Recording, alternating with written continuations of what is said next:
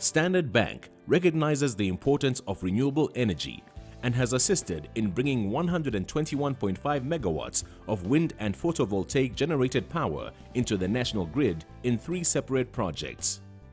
This is just the start of Standard Bank's commitment to fund more than 940 megawatts of renewable energy as part of Eskom's Renewable Energy Independent Power Producer Procurement Program or REIPP, which was initiated by government. The Metrowind 27 megawatt Van Staden wind farm project in South Africa's Eastern Cape province is the first of these REIPP initiatives to start delivering power to the national grid. Built at a cost of 599 million rand, this wind farm project will deliver 80,000 megawatt hours of electricity to between 5,000 and 6,000 households in the Nelson Mandela Bay Metropolitan Municipality every year. Standard Bank provided 450 million rand in debt financing to a consortium for the construction of the project. As lead arranger and underwriter of the project, Standard Bank was able to call on its strategic relationship with the Industrial and Commercial Bank of China for over 190 million rand for the project's financing.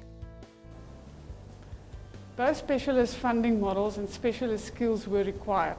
For this entirely new market, with no balance sheet and no assets, we opted for a project finance model with a fairly long repayment term because the facility is effectively unsecured.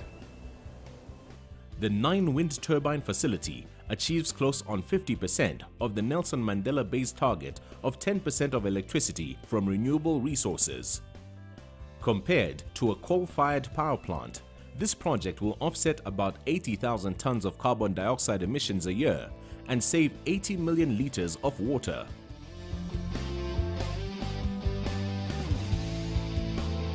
Standard Bank acted as sole mandated lead arranger and underwriter of the Herbert and Kalkbult photovoltaic plants in South Africa's Northern Cape province.